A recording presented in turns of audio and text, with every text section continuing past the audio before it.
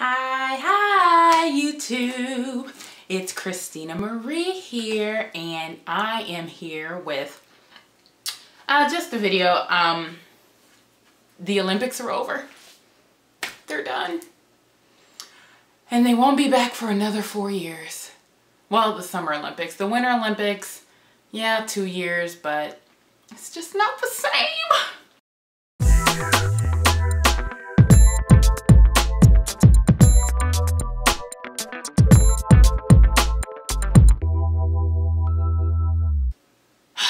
Well, now that I've gotten that out of the way, I just wanted to come on here and just share with you guys what my favorite uh, part of the Olympics were.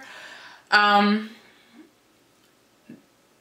the U.S. women, oh my gosh, they dominated uh, swimming, both women and men, amazing. Um, there's just so many high points, like even wrestling. I watched wrestling, you guys.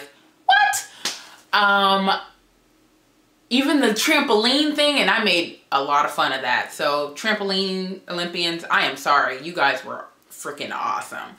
Oh my gosh. The dude with the bionic legs from South Africa, I think.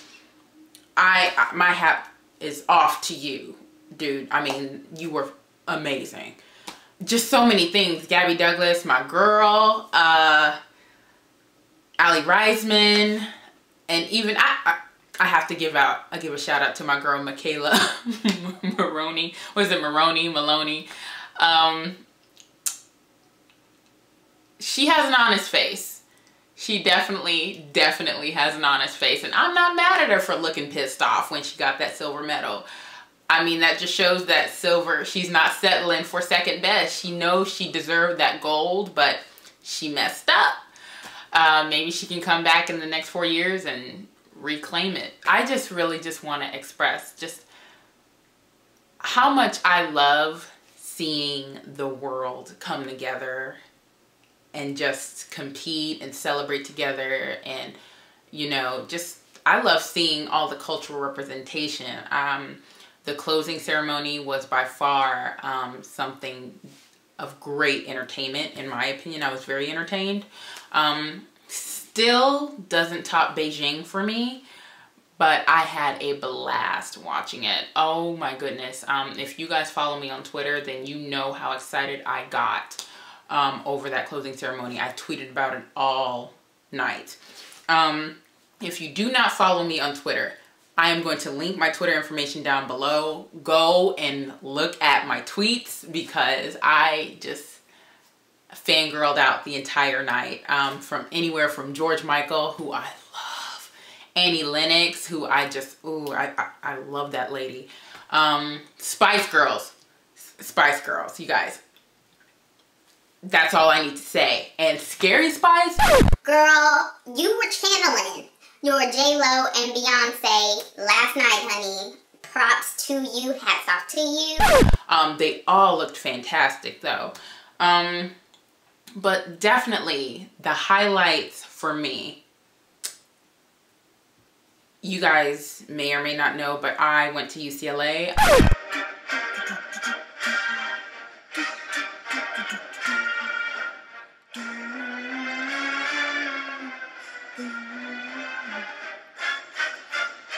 2009, what, what? But, um, we had such a presence there. UCLA had such a presence there. I saw people that I went to school with, um, people that I graduated before, people that graduated before me. I just saw so much there and we had our fair share of medals and I was just like, UCLA is in the house. Um, so that was a highlight for me. Um, seeing Gabby Douglas win um, her all around, that was a highlight for me. U.S. women's track and field. The relays, the 4x1 and the 4x2, no, 4x1 and the 4x4. Fantastic. Allyson Felix winning her 400. Tom Daley, I know he's British. Or is he British? Yeah. Yeah. um, even him winning his bronze in the diving, that I was ecstatic for him because people gave him such crap about the synchronized diving thing and bullied him and just I don't understand, but I am so proud of that boy and he's not even you know my compatriot if that's the word. But I was so proud of him for getting that bronze, but I was super excited about uh Boudia. Boudia shocked me. He's American getting that gold. I was so proud of that guy. Like, I didn't even see it coming because he barely squeezed into 18. But, um, into slot 18 during like the semifinals or the qualifying rounds or something. But he turned it on and then he took it from there. It was fantastic. Absolutely phenomenal to watch. Um, Michael Phelps. I, I don't know why I just saluted you. You're not military. But Michael Phelps, you're an inspiration. He is such an inspiration. Like I, who wins that many medals, that many gold medals? I don't even know. What is it? 19 gold medals and like two silver or something or eight, I don't know, 20 gold medals and two silver, whatever. But, oh my goodness. I, I mean, that is what the Olympics is about. You know, it's about doing your best and trying to come home with a medal, preferably the gold medal, but it's about representing your country. It's about going out there and showing the spirit, the determination, the ethics, the hard work of your country. Now, there were some questionable things that, you know, will sway your opinion on what I just said, but I'm not even speaking for Americans. I'm speaking for all countries. Um, it was just amazing to watch people with these beautiful background stories when they did the little flashbacks and stuff like that just telling about their history i loved learning about these people whether they were whether they were from ethiopia or south america or great britain um, it was phenomenal to me and it was a little bittersweet to see it go, to see it end last night. But I am excited for Rio in 2016. Um, me and one of my best friends, Diaris, we are setting the goal to actually go to the Olympics in 2016. I personally think at one point in your lifetime, you need to go to the Olympics. If you can't go, then I am hoping for you, willing it to happen, that at least sometime during your lifetime, the Olympics are being hosted somewhere near you the next however many years. I don't know how long in advance they plan out the um, hosting sites. I can't remember, but I really really do encourage anyone to go to the Olympics and experience this. It's not about sports. It's not just about winning. It's about just coming together as a human race and just having community. Yeah, competing, you know, what's through sports and all of that. But I enjoyed seeing just people come together and just smile and hug each other and have all this community. Um, now, you guys may not know, uh, men's basketball US. They did win gold. I know you know that part. But um, I am a Laker fan.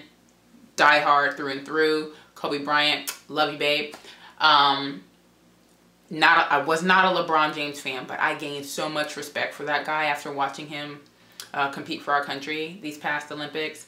I cannot go back to having the same perspective of him prior to the Olympics. I just can't. I will never be rooting for him ever because I he's not on my team.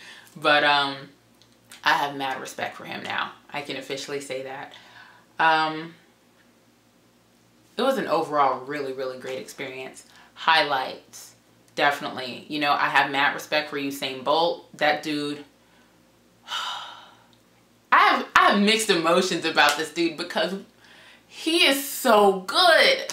But I don't want him to be because he beats us. But I can't help it. You know, he I love to see people win. It's when you get the cockiness. Now, don't get me wrong. Usain Bolt is cocky as I don't know what, but I'm happy for him. If he can come back in 2016 and do it again, power to him. I hope he doesn't do it again, but more power to him, definitely. It was a fantastic two weeks. I had a blast um, just, you know, sharing everything with my friends and, you know, with you guys on Twitter and on Facebook. Um, like I said, follow me on Facebook. Follow me on Facebook. Follow me on Twitter. Um, information down below.